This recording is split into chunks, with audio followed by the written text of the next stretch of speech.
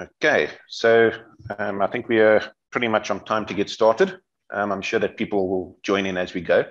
So, um, firstly, to, to all the, the, the particip participants, thank you very much for attending our, our Martec uh, Smart Asset Preventing Switchgear Failure through Online Condition Monitoring webinar. Um, my name is James Cowling. I'm the sales executive for Martec, responsible for the technology and the solutions that we offer. Um, I'll be managing the some of the the, the second well, the, the second part of the presentation. Um, Johannes Coetzee, uh, Martec's managing director, will give you a, a brief introductory um, or introduction with regards to Martec, and then Noldo uh, Bester will be doing the back end, looking at our in-time monitoring um, solutions and what we're currently doing in, in the South African market uh, related to uh, in-time monitoring on switchgear. Um, so I'm going to hand over to Johannes for the initial few slides, and then I'll take over, and then will manage the back end. Thanks, James. And uh, yeah, most definitely, we don't want to make this at all look uh, like or feel like marketing. The whole idea of the session is to share some knowledge and uh, to bring people into uh, under better understanding of some of the technology that's out there and the, the methodologies out there. Um, so we'll go through effectively the assessment methods as the agenda. And James, I think maybe uh, we don't have to go into too much detail at this point in time into what we want to discuss at each of these points. Uh, common failures, we'll have a look at switchgear temperature monitoring case study. Definitely important to look at how this actually, how do we use this in, in practice?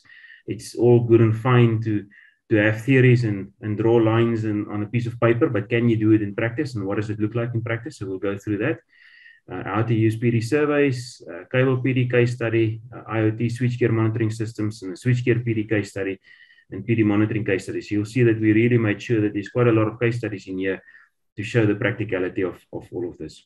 I, I just want to reiterate again, especially for the people that just joined, um, there is a Q&A button that, uh, that you'll see on the bottom of your screen. Please post your questions there. Uh, we will read those questions during the, the session, you know, where we feel they're applicable to be answered. And if we don't get to your question during the session, uh, we'll circle back to that uh, at the end of the session and make sure that we go through those individual questions. And once again, for the, the, the, guys that just joined, and thank you very much for joining us to, today.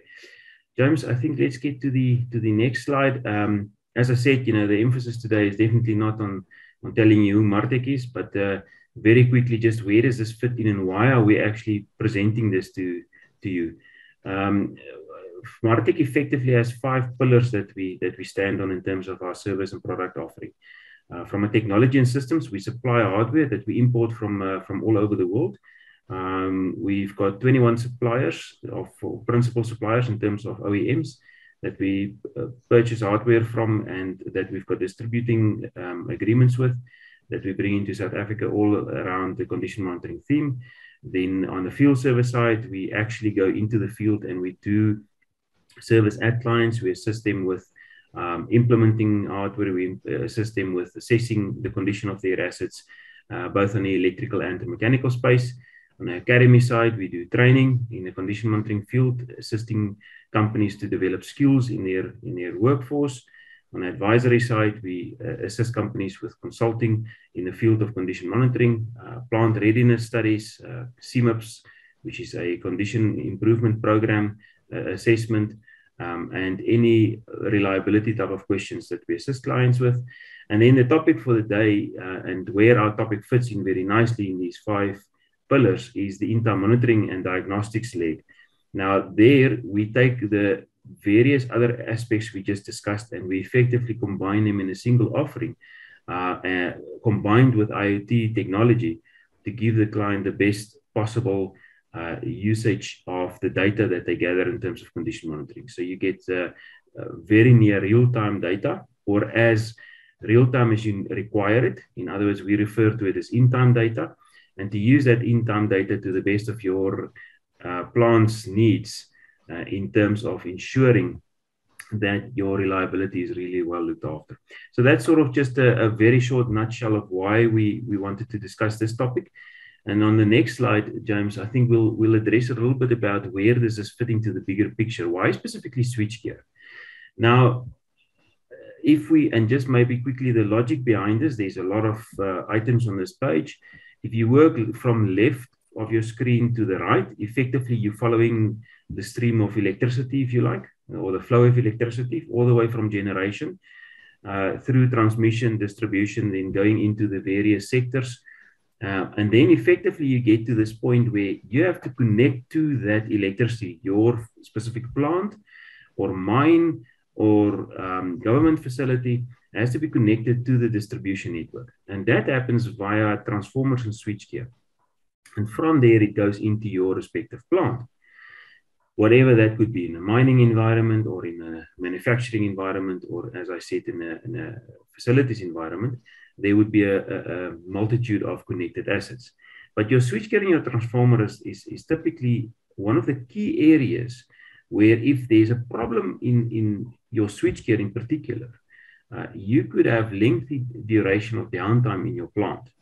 And many companies overlook the sensitivity and the, the criticality of their switchgear. So if we assume for the moment switchgear being an, a very key component in your overall plant reliability, what is it that we can do about switchgear and how can we look at switchgear making sure that we maximize the reliability of that uh, component of your risk overall plant risk assessment so that's sort of the logic behind today um, I think we'll get into the, the nuts and bolts of that now, James, on the next slide. You know, and we'll move a little bit further into the detail around switchgear. But just from a theoretical point of view, you know, there's a couple of things that you want to monitor on any asset. Um, and and uh, from on the left, the asset status. Uh, you know, you could monitor condition monitoring on an offline asset or online. And important when we refer to online or offline here, is not anything to do with the internet this is whether the asset is energized or not. You know, so if an asset is energized, especially on the electrical side, there's certain things that you want to monitor. And if an asset is not energized, there's other things that you could also monitor. And those um, assessments are obviously different. Uh, that then in the middle block, if you get to the condition assessment in terms of uh, the top one, shot work, uh, you know, understanding what you want to do during the upcoming shots, you know, uh, making sure that you understand the condition of that asset so that you've got a full scope of work that you can plan into your upcoming shots effectively. Also, from a quality insurance point of view, typically under the commissioning phase, when you commission new assets, you know, are you happy that those assets, especially when you talk about MV and HV, that the quality assurance is done prior to the energization of those assets to prohibit any potential failures that could cause serious damage or potential in injury. And then obviously in line with that factory acceptance testing. Um, on the bottom there, uh, we have uh, condition monitoring trending.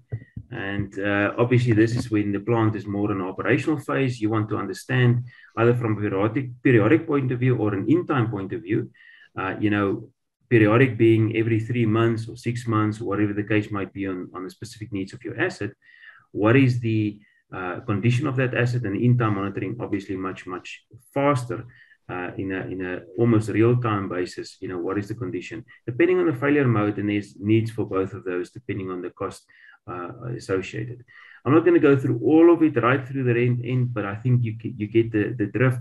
James anything you want to add on the slide? And maybe let's uh, let's get into the the nuts and bolts of, of switchgear and, and get to the technical bits of, of today yeah, thanks for that, Johannes. Uh, thanks for the for the the, the, the basic background. Uh, so just to to add to what Johannes said, um, from a, a, a condition assessment uh, force, and, and specifically today we're looking at switchgear.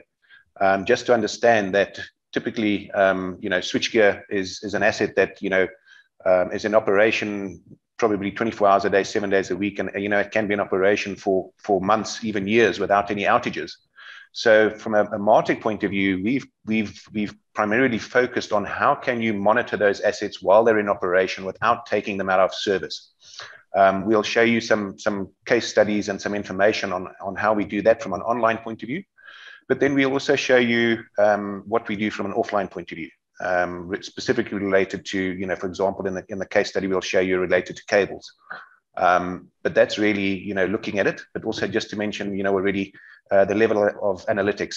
So going from basic alarm thresholds, where from a, a, single assessment we can identify and risk rank your your assets. I'll show you some information on that, all the way through to the technology that Nolde is going to be discussing, where we're looking at sophisticated analysis phase result data on partial discharge, um, looking at load, humidity, temperatures, um, and pulling all of that into the analytical side, um, which we'll discuss um, a little bit later on in the presentation. But to kick off with, um, to look at, you know, th these are some international statistics um, that we use from our uh, from a lot of our principals or suppliers, and looking at, you know, understanding the failure modes in medium voltage, specifically air insulated switchgear. We're not looking at, at the the, the more higher voltage SF6 type equipment. Um, and you know, really looking at some of the assets and components. Um, I think just to, to make a comment from a local point of view or South African context, there could be a few slight variations. We we have a lot of uh, instances of you know cable theft, um, you know those sort of things, which will skew our figures slightly in comparison to some of the international statistics. Um, but if you have a look at the switchgear modes, and this is typically up to you know 22, 33 kV um, air insulated switchgear, um, metal clad switchgear typically. Um, if you have a look at the failure components, um, starting off on the mechanical side, um, I'll you know that's really where you've got issues related to you know mechanical looseness, poor connections, those sort of things, but also down to circuit breaker alignment. Is the breaker uh, you know making contact? Um, and then we have what's known as discharge. Um, so we'll discuss what, what is known as PD. So it's one of the key indicators of assessing uh, the condition of your switchgear while it is in operation to determine if there's any issues. Um, so I'll show you a little bit of, or we'll play a video related to what is partial discharge and how it can affect or how it can be used as a, as a detection and an analytical tool to monitor the condition of your switchgear. We then have the VTs, the CTs, um, the cable box or the cable termination area. Um, in the South African market, um, in the areas where we as Martec work, um, it's probably the statistics that we see there. You'll see that internationally, the cable, you know, the cable box or cable terminations are, are relatively low, um, sitting at around about the uh, six uh, percent area. Whereas in, in the markets where, where we're doing um, service or we're doing monitoring, uh, in the South African context, the, the, the, cable terminations and the joints um, actually is a larger problem um, from a, a, quality assurance point of view and a workmanship point of view than the typically than that 6% that you see in the international statistics. But if you have a look at these overall, um, you know, apart from the maloperation and the protection side, which we're not discussing today, um, if you are able to use technology and monitor, um, you know, things like temperature and partial discharge, um, that should allow you to detect up to 70% of, of, of the defects listed above uh, from a statistical point of view. And up to 85% of your failures um, can be detected or attributed to picking up partial discharge early uh, in, in the process. And as that partial discharge gets worse, it'll, it'll, it'll create more of the issues related to tracking, um, arcing, um, and then eventual failure. James, as per any engineering uh, fraternity, we have our fair share of uh, acronyms. So maybe just uh, VTs and CTs for, for the crowd, assuming we'll get to partial discharge, as you mentioned, and uh, yes. MV, uh, medium voltage. Uh, but VTs and CTs maybe quickly? Uh, your your voltage transformers and your current transformers, which are typically in, in, in the switchgear itself. So your you know your incomers, you'll have a you know you'll have a VT and then you'll have CTs positioned within the switchgear. Um, I'll show you an example of uh, partial discharge on a, on a, on a CT, for example, a little bit later in the presentation. Um, and then, of course, your vacuum is your vacuum breakers, um, you know, lightning, um, which be lightning strikes, and then, you know, water or moisture ingress, um, you know, would also be, be part of that. Um, but as we said, these are, you know, international statistics. And I think the South African market, there, there may be some uh, abnormalities or slightly different uh, perceptions related to the types of failures and the number or the percentages that are. But you know, for for today's presentation, it's it's, it's giving you a, a broad overview. And then if we delve a little bit deeper into it, um, because one of the aspects that we see as, as Martec, um, you have the switchgear itself, but if you look at the switchgear, it's part of a complete system. And, and the cable um, system is connected to the switchgear.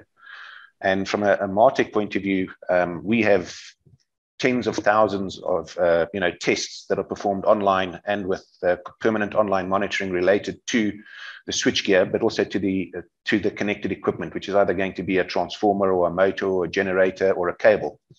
Um, and we do see that um, in our markets, um, cable failures, either related to the terminations or to the joints or to the cable insulation, um, are a, a quite a high percentage. Um, and there are differences between PILC or paper insulated lead cable and XLPE cables. Again, this is international statistics, um, but uh, we find that the trends are relatively similar in our markets.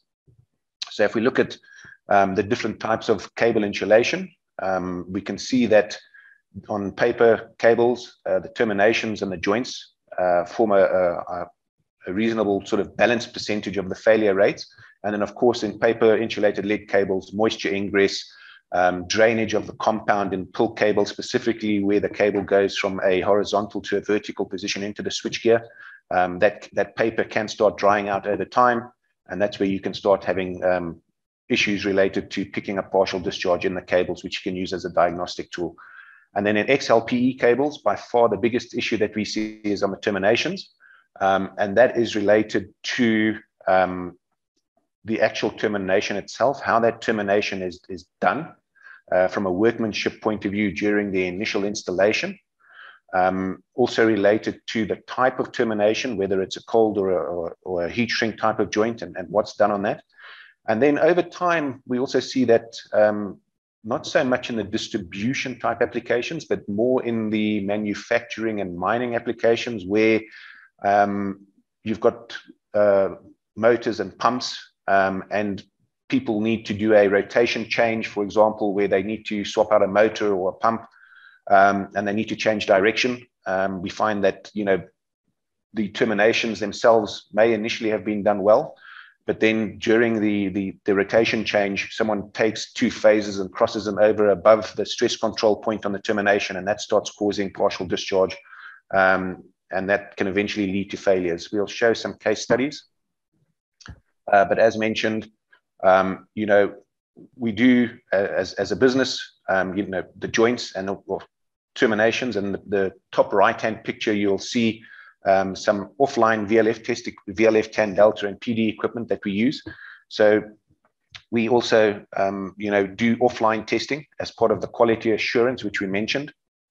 But also, if the online tests tell us that there is a problem, um, we, we will then have to do some offline testing to be able to pinpoint or locate where the defect is in the cable. Because to tell you that you've got a problem cable online is one thing, but you want to know where that problem is so you can fix it. I think, James, if I can just budge in there quickly. Yeah. Um, just on the cables itself, on the previous slide, uh, if you look at a, at a paper cable, it's also seen as a is a is a little bit towards uh, PDA, a bit more self healing. It's got a bit of self healing capabilities due to the type of insulation it's got. But when you look at XLPE, it's also a bit more forgiven um, for moving the termination around, bending the the leads a bit more towards where you when you bend the leads on a paper cable, you you run the risk of tearing the paper insulation itself. So both both types of cables got its pros and cons. Um, but also both types of cables being used in the industry uh, since uh, quite a long time ago. So um, just wanted to add that to the to the two types of cables that was in this specific slide. Thanks. Thanks, Naldo.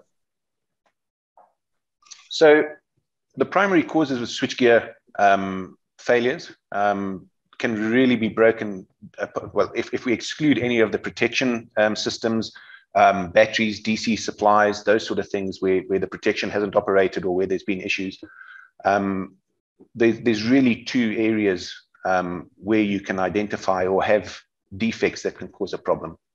So number one, we see is what we classify as compromised connections. Those are going to typically be your bus bar, your breaker, and your cable terminations, um, where those are connected. Um, and if not done correctly, or if you've got a a, a poor connection, which is going to cause um, poor contact. Um, it's going to cause corrosion um, or wear um, from a vibration point of view, or it's just loose and that's then causing the, the hotspot that you would typically identify or in industry where infrared technology is used to identify that, that, that loose or poor connection, which is generating heat because of the current.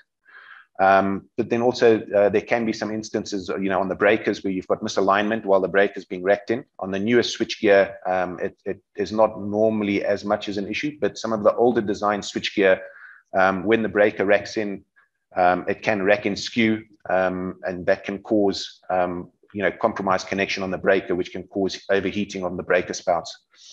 And then if you have a look at those defects, what is the result of those defects? It's typically um, elevated temperature. So those defects or those compromised connections are typically seen or identified or found due to a temperature increase. Okay. And then the second part of your, your, your switchgear failures is really attributed to the insulation system. Um, and medium voltage switchgear is theoretically designed um, to be PD free. So if your switchgear is manufactured and maintained um, and serviced correctly, the theory is, is that if you have the, the, the, the necessary clearances in place, if your maintenance is done, um, if there's no moisture ingress, um, you know, things can happen, you know, snakes, bats, spiders, rats, uh, those sort of things, um, or during maintenance operations, um, people will accidentally leave a spanner or a screwdriver or a, a bolt or something in the in, in, the switchgear as part of the maintenance operations, um, and those can then affect that insulation integrity, um, which then then causes you know partial discharge. Um, but as I've mentioned before, uh, you know workmanship on termination and joints is is probably the biggest issue that we see in industry. Um, and then you've got age, contamination, uh, mechanical stress and damage, which is caused, you know, um, I think from a from a, uh, a, municipality aspect, you know, people putting fiber in um, and they're working in the same servitudes or the same areas where you've got your cables installed, for example, and people are digging or you know installing fiber and they actually damage the, the medium voltage cable, for example. Um, you know, which is you know not really the cables issue. It's you know it's just because of you know people digging where they shouldn't be digging, or of course in, in you know where you have theft. Um, in certain areas, specifically in coastal areas, for example, not so much up on the reef in, in, in, in Joburg um, and Pretoria, but, uh, you know, high humidity conditions, condensating moisture. Um, and, you know, I mentioned, uh, Johannes mentioned, you know, what is a CT? And this picture that you see over here, um, you can actually see the electrical treeing and the, and the discharge occurring on the CT stack. Uh, and this is down in this is in a high humidity area at, at, at the coast. Um, this is in the Durban area, and that's just because of, of high humidity conditions that you actually start getting surface discharge occurring on the CTs themselves because of that that high humidity and condensating moisture. But any of the you know any of the defects, whether it's temperature related due to poor poor connections, or whether you've got um, discharge related to cables, or, or you know the the cables being too close together, so you don't have the necessary clearances um, or whether you've got issues related to insulation, um, and you can see the electrical treeing and tracking on this on these insulator boards, or whether you've got cables too close together again, where you can actually see the hot spot on this specific cable here, where it's actually causing partial discharge because you you've got an issue above the stress control point. Um, and these are, um, I'm yes. assuming that age is also a relative concept in, in terms of load shedding. You know, energizing and de-energizing switchgear, uh, and obviously the temperature changes that that coincide with that, apart from the obvious operation. You know, uh, where you could have probably got um, many more years out of switchgear in the past. You know, how does it influence currently with with load shedding? Well, I, I, think you know there have been a, a lot of the, the, the larger metros and municipalities. I think City Power and Tshwane and Cape Town Electricity have all done um, investigations into the fact that load shedding and having to switch um, and switch transformers and, and cables and, and operate them um, is having an impact on, on, on the design life and also the reliability of those assets. Um, you know, switchgear is, has a certain design functionality as far as a number of operations. Uh, transformers ideally or realistically, if you look at distribution and transmission transformers and even the generation side, um, they don't like or they, they're not designed to be switched in and, and you know switched on and off um, as much as, as what they, they could be, be occurring during load shedding. So those can definitely have some impacts on the reliability and the design life um, of the switchgear and of the cables and of the transformers. So it's, it's actually a network related issue as well. Um, so uh, again, very valid comment about um, load shedding, and it does have an impact um, in the, the reliability of, of, of the, the switchgear um, and the, the connected components as well. Right. Um, we've mentioned the misalignment aspects, and this slide really just you know identifies some of the aspects within Martec um, as part of what we do. We we do use infrared technology, but infrared technology is, oh, and we'll get into the the temperature monitoring side. Um, infrared, you know, it's a surface technology. So IR can't see into the switchgear unless you're using an infrared window, for example, on the cable termination, or you've, you've got an infrared window connected somewhere that you can actually visibly use an infrared camera and actually look into the switchgear. Um, but we, from a, a, contact discharge or misalignment point of view, um, we actually pick it up with, we, we call it um, partial arcing where because of the misalignment of the of, of the breaker onto the onto the bus bar or onto the contacts, we pick up partial arcing, um, and that is identified within the switchgear. So we can actually detect it using partial discharge. Uh, so it's a contact discharge. It, in, it, it creates intense heat, which if it's internal to the switchgear, you may not be able to see with infrared. It can cause temporary welding. It, it, it, it overheats the, the insulation systems around those points. And uh, as we all know, that uh, you know a 10 degree increase in temperature halves the life of any insulation material.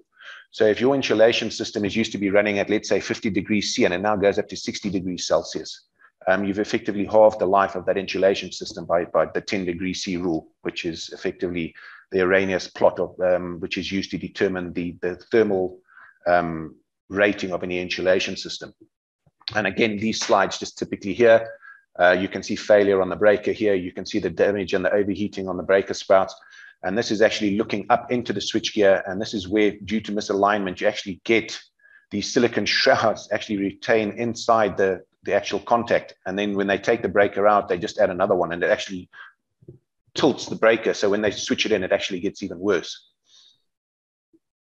So that, that's one aspect that we do see. Um, but getting on to temperature monitoring on switchgear um, historically what has been done. Um, you know, if you have a look at it, switchgear um, downtime for maintenance is rare. Um, you know, companies may only take their main incoming substation down for maintenance on an annual basis. Um, you know, maybe if they're lucky, they're doing it on a six monthly basis. Um, but we have other customers or other clients where they their shutdown is really about a, a four year period. They want to be running every four years before they actually have a, a full outage to do maintenance on, on the on the switchgear itself. Um, I'm not talking about the protection and the relay testing side. Um, you know, I'm talking about the actual, you know, opening up, looking at bus bar, looking at breakers, looking at cable terminations. Um, so it's it is difficult to to have these scheduled downtimes for maintenance. Um, and also, of course, if you look at the, the, the fundamental design of switchgear, and especially now on the newer types of switchgear, um, when you're looking at the, the arc flash um, specifications and the arc flash ratings, the switchgear is really starting to get really um, compact, but also the enclosures um, are very, very tight. So um, purely just to, to make sure that there's no any no arc flash incidents, you know, the, the newer design switchgear is really tightly sealed. So, you know, to be able to look at getting decent temperature measurements, um, you know, what are the options? And historically, um, people have used um, infrared temperature uh, or IR cameras um, and looking to see if they can detect anomalies from a from a, surface point of view, because you you're not seeing inside. Um, and then with the with the with the advances in, in infrared windows, um, and there's even combinations now of infrared and ultrasound windows where you can use an infrared. A window is designed to have infrared so that you can actually see into the cable termination, but it also has a ultrasound um, window designed in that you can actually use ultrasound technology to listen for partial discharge, arcing, tracking, and corona.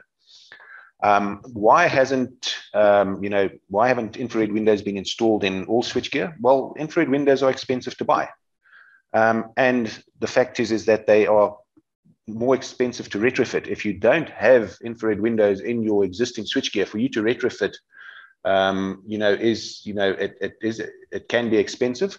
And then there's also the question that always comes up is have you now compromised your arc flash certification or your arc flash rating um, on your switchgear because you've now installed an infrared window.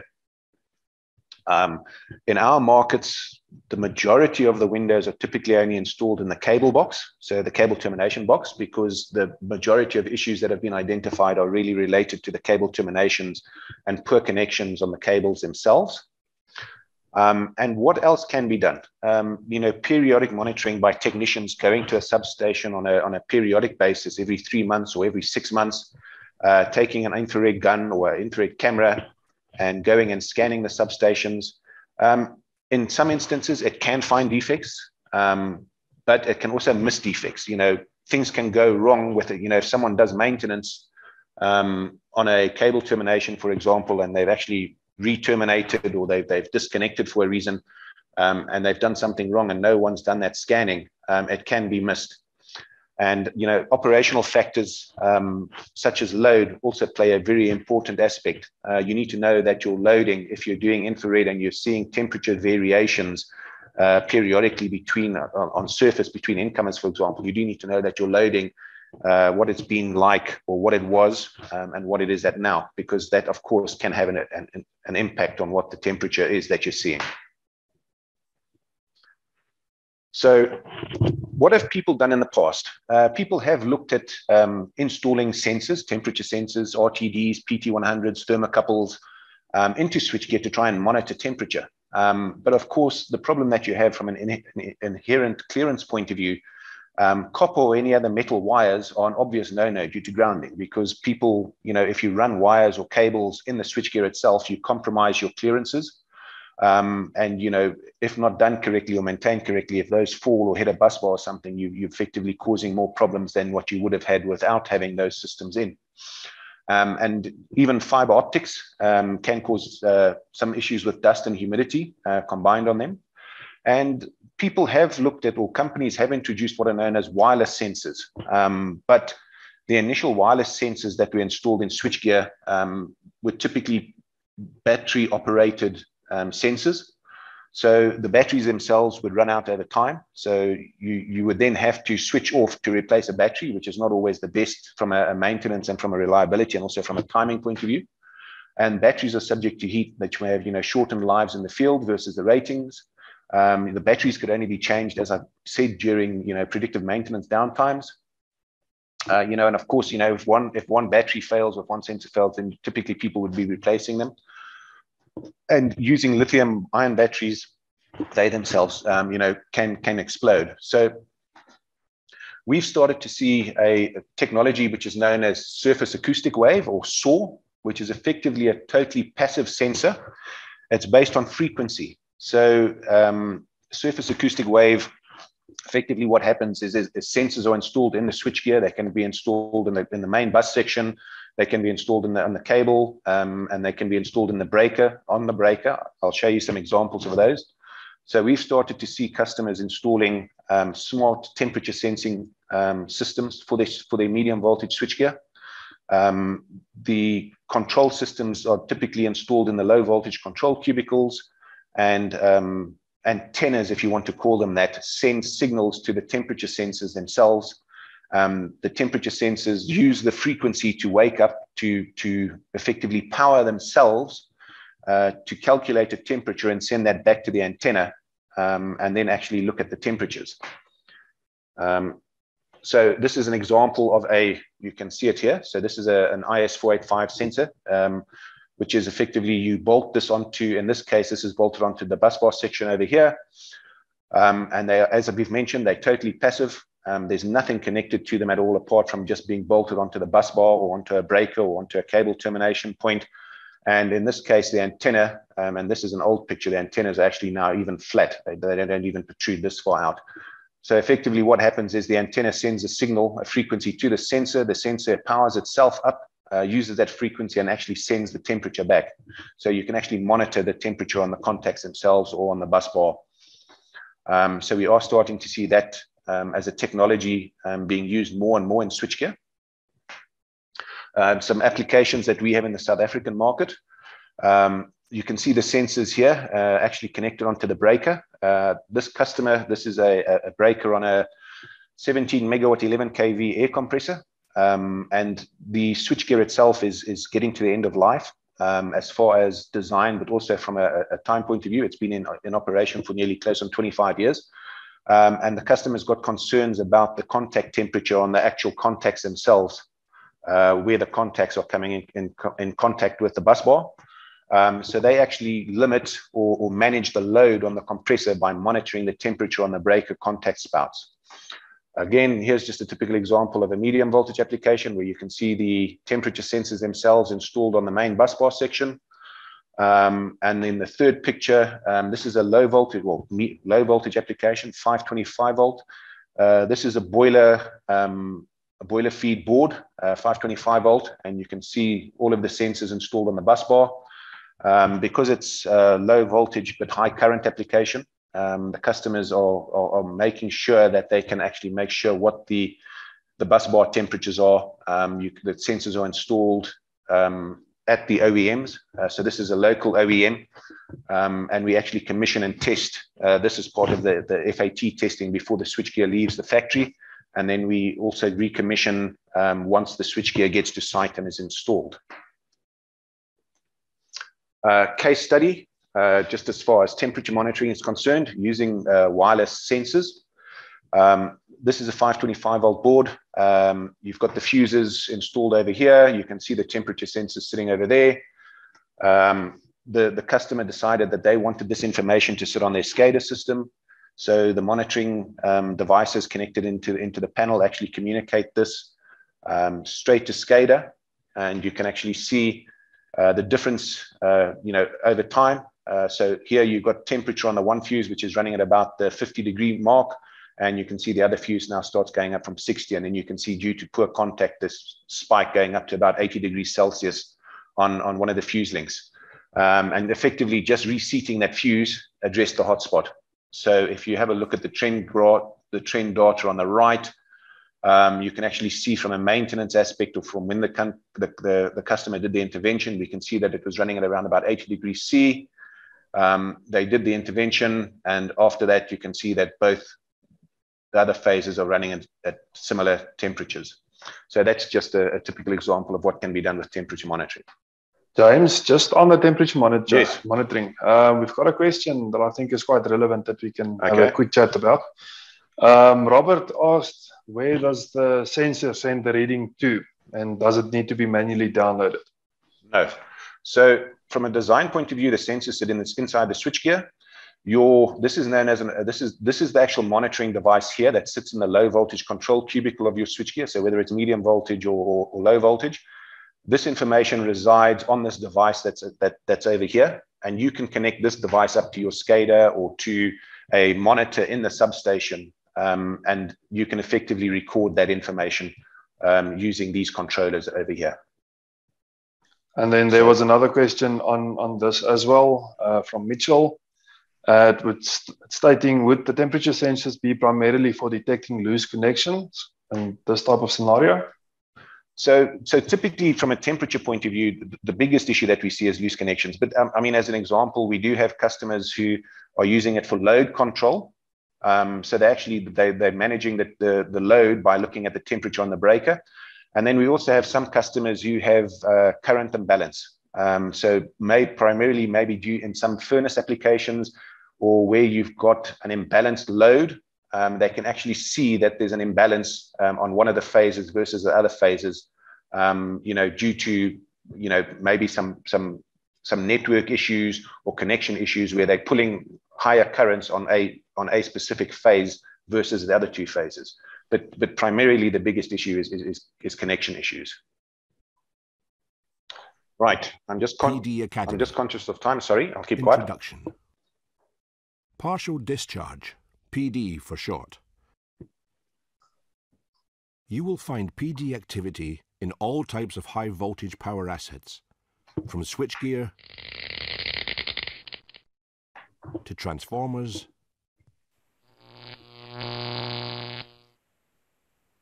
and overhead lines,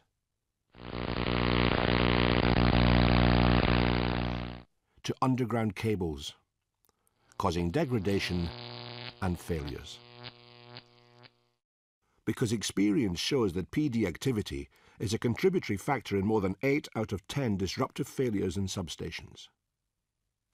And it is the most reliable indicator of the true condition of insulation in live assets. So, what exactly is partial discharge activity? How do we go about locating and measuring it? And how can we use that information to make assets more efficient and reliable at lower cost? Okay, so for, for people who weren't or, or, wasn't sure what PD means, it's effectively partial discharge. And that video just really explains the basics. Um, today is not really to look into PD um, in a lot of technical detail. Um, we can, we, you know, that is something that we do um, as part of the other course. But from a Martec point of view, PD is one of the primary detection or one of the primary drivers or one of the primary effects that we actually monitor to determine and monitor the health of switchgear. So, you know, what does partial discharge do? Uh, these are just some typical examples of PD. So you can see PD in, you know, insulation systems on connections, on, you know, VTs, on, you know, different aspects, and then also, um, you know, cable terminations. Um, and the, the effect is, is that over time, um, you know, PD doesn't go away. It's a voltage related phenomenon. Um, so it's, it's based on clearances. So, you know, if you, if you do see this white powder in your switchgear, you know, wiping it away um, and saying, well, we've cleaned it off, that doesn't solve the that doesn't solve the issue. It is going to come back. And also the fact is, is that there is actually some damage done um, underneath, for example, in this case on a cable termination, underneath the heat shrink, there's already damage done, which is also going to cause problems. Why do we use PD? Well, we use it for a couple of, of, of for a couple of reasons. Um, we have service staff going into substations on a daily basis. So for, for us, um, one of the primary drivers we use it for is safety. So any staff going into the substation will use what are known as PD detectors, just to make sure that as they go into the substation, number one, it's safe. Number two, if they are working on panels or they are doing online PD assessments in the substation, that there isn't a defect already in the substation. Um, so they use it from a safety point of view to make sure that it's safe in the substation. Uh, and I'll, I'll, play you a sound file. Um, this slide here, you, if you have a look here, you'll see that there's a, this is effectively external. We don't open up any panels. We don't open anything up. We effectively use an ultrasound sensor, which picks up the partial discharge, the arcing, the tracking of the corona uh, via air gaps. Um, so you can see this. And, and I mean, this substation here, the primary issue that they had was due to workmanship during the install. Um, you can actually see where this is the cable termination areas and actually you can see where the cable terminations are blown. Um, and this sound file just, uh, I'll play it, but you actually just hear, so the sensor is, is external to the switchgear and you can hear the partial discharge. You wouldn't, in, if you were in the substation um, and you didn't have the ultrasound or the PD detection technology, you wouldn't hear this.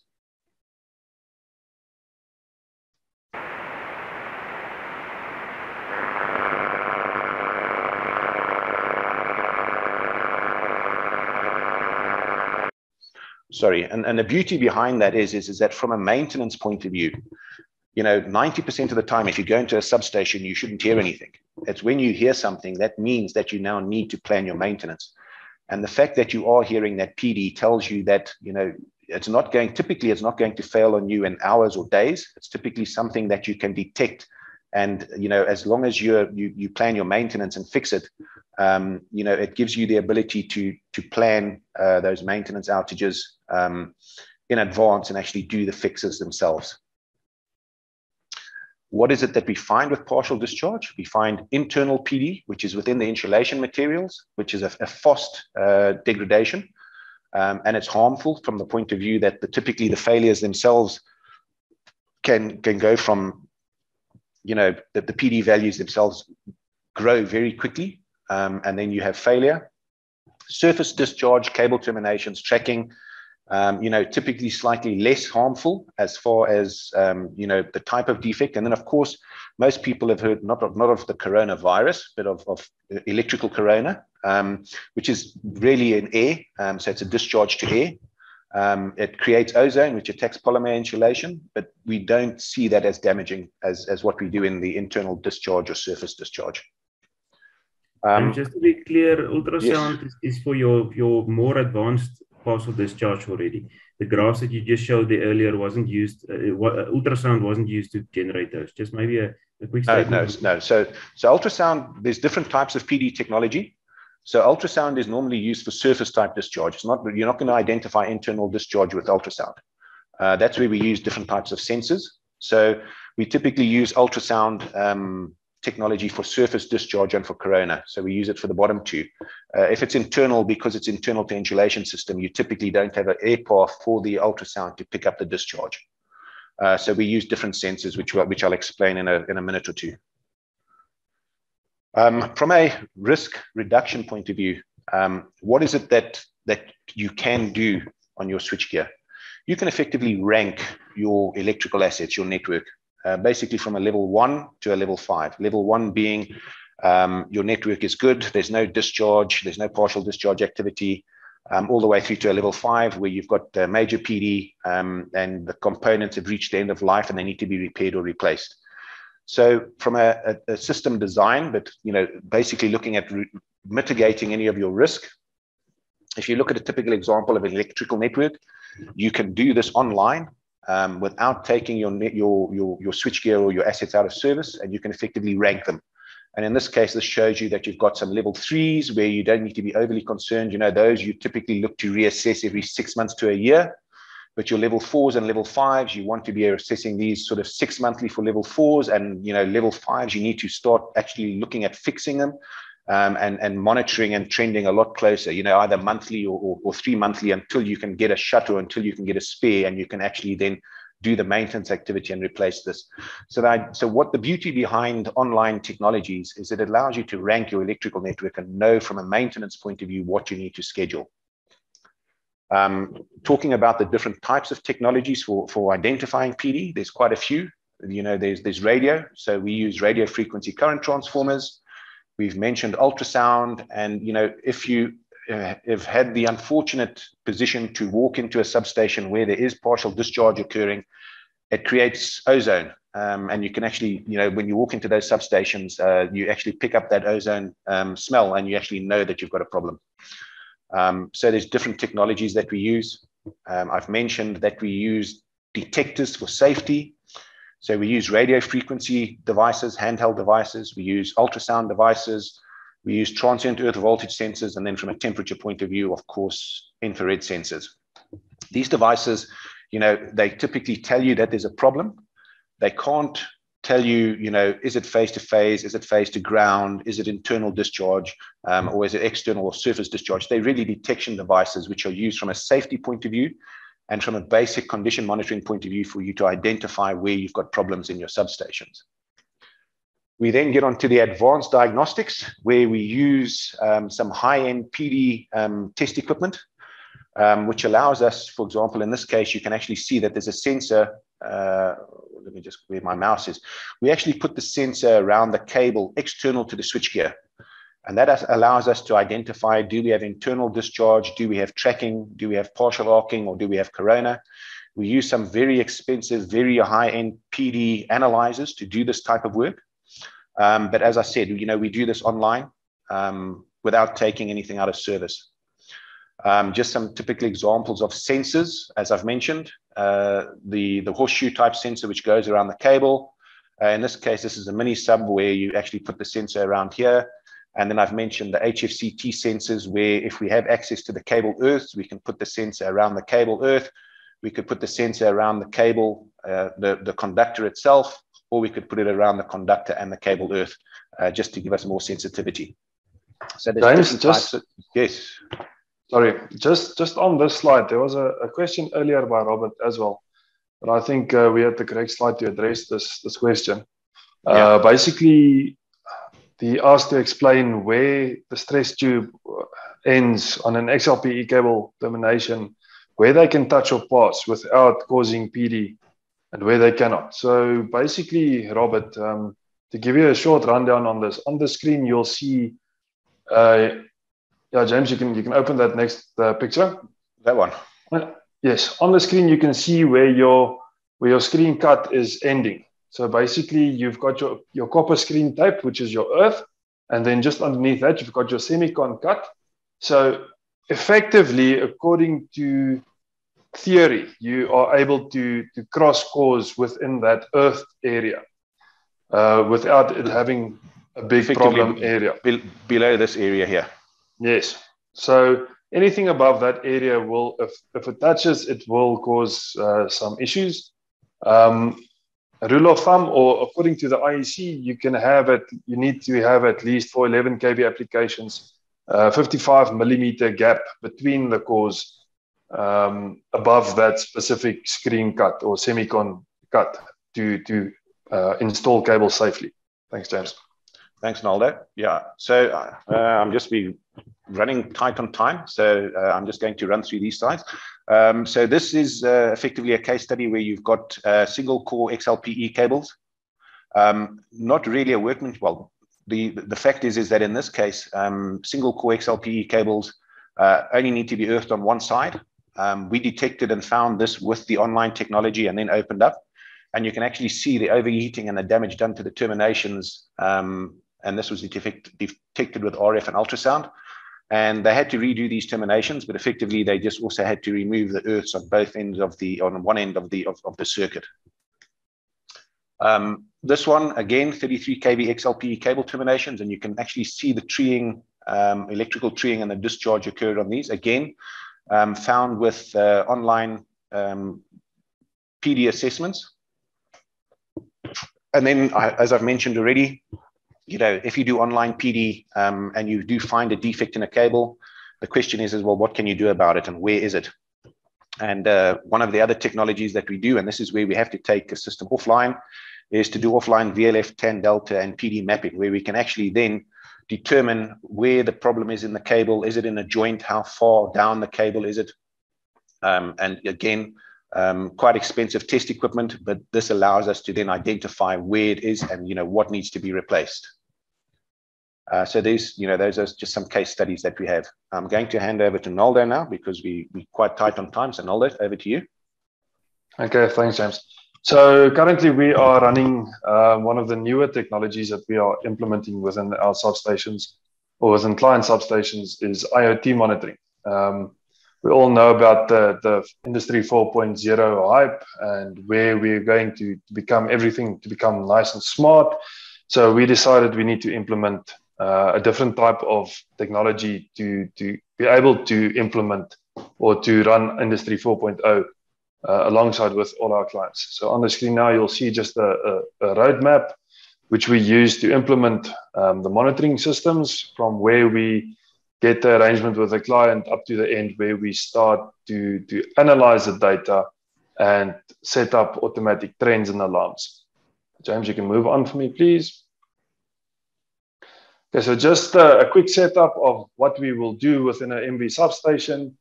Um, within your switchgear on your cable or on specific ends in, within the system, we will include specific sensors.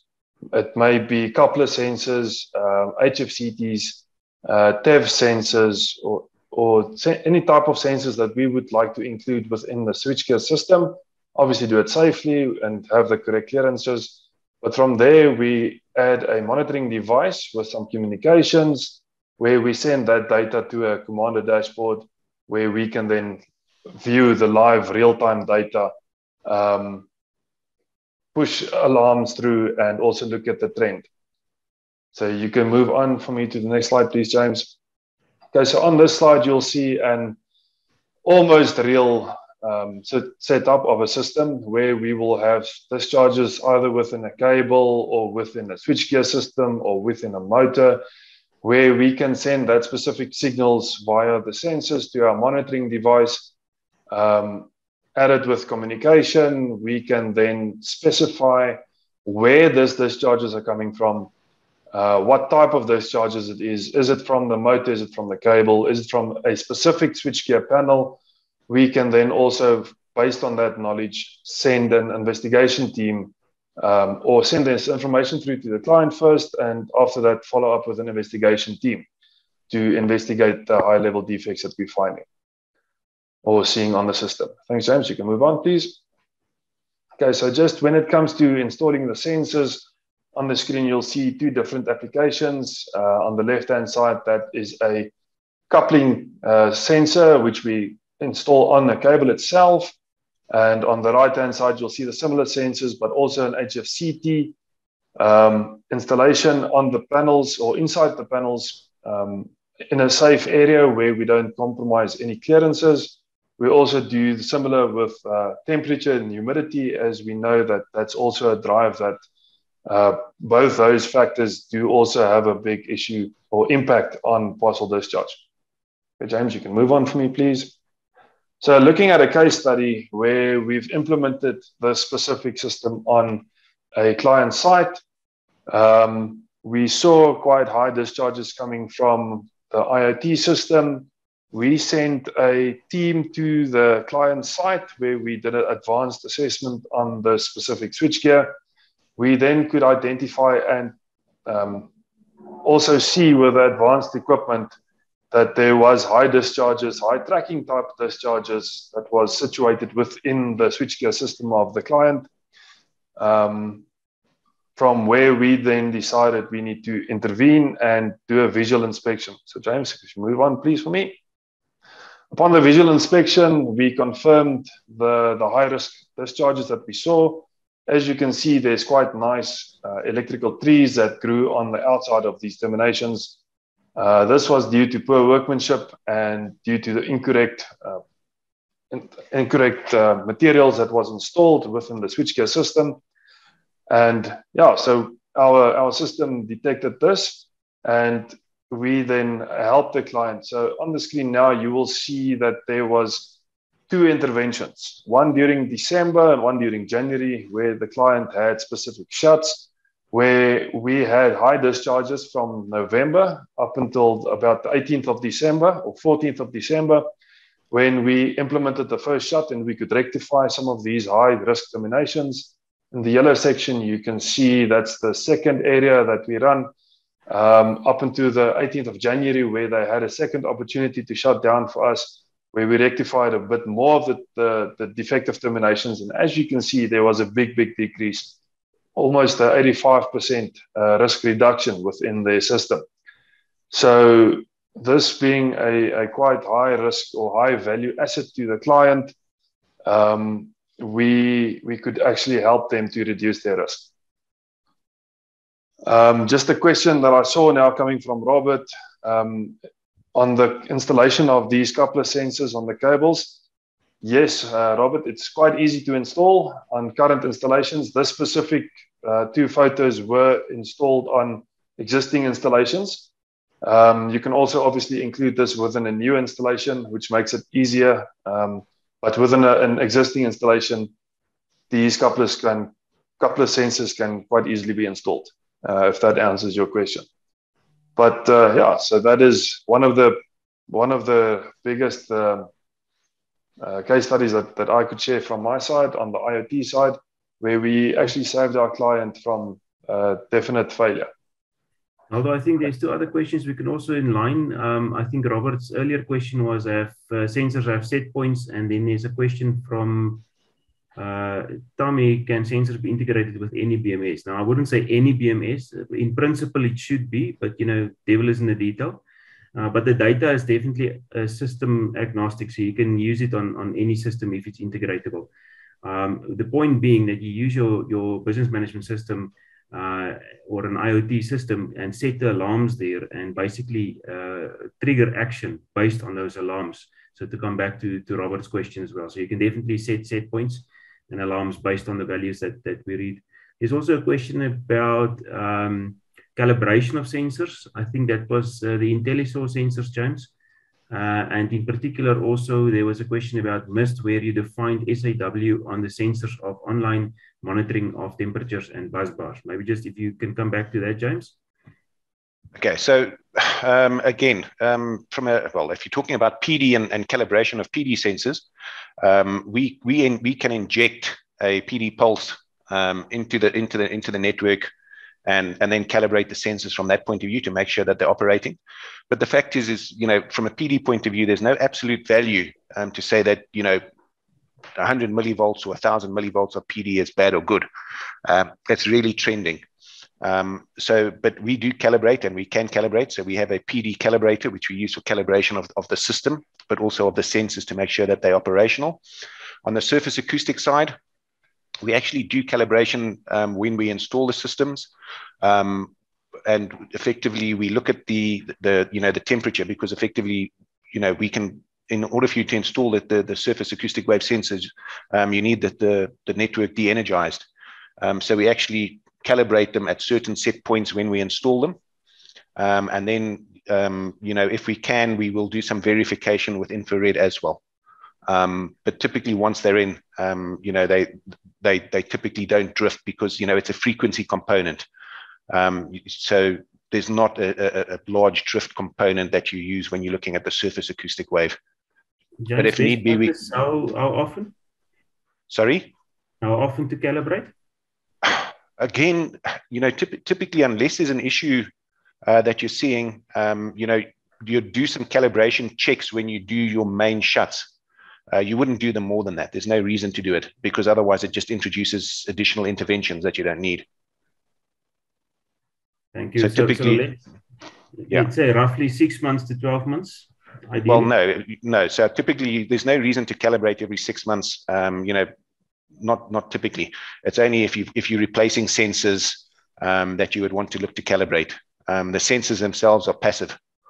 Um, it's the it's the monitoring, the actual analyzers themselves that actually do the work. Perfect. Thank you, James. Okay. Pleasure. Then Ruan also posted a question: How does harmonics and uh, unbalance affect the PD measurements? From your experience, this is the first question. And two, and how do you eliminate possible false alarms through trending? Question. So, so typically from a PD point of view, harmonics um, are effectively for us or noise. So we have different methodologies and different ways of eliminating noise. Um, if you look at PD, um, it, it will be picking up system noise. So we typically move higher up into the frequency range. So, so normally noise and harmonics, you're going to see at the lower frequencies. Um, we go up into the, you know, the, in the megahertz range. So, and you know, we can sweep at different frequencies depending upon the PD technology we're using. We can we can look at different frequency bands um, and effectively eliminate harmonics um, out of the system. So we're only looking at PD and not at at system noise or, or harmonics. Um, so I don't know if that answers that question. Ron, happy with that? Good. That seems to be the questions and we've seemed to run out of time, a little bit yep. over time, four minutes over time. So my apology for that. Uh, James's uh, email address is there on the screen. By all means, please contact us, and uh, we're more than happy to give you a lot more detail and uh, answer any specific questions that you that you have. And even if you think that, or if you feel we didn't answer your question perfectly uh, during the session, please make contact with us. We're more than happy to go into a lot more detail with that. Thank you very much, and have a fantastic day. Thanks, guys. Have a good one. Thank you, everyone.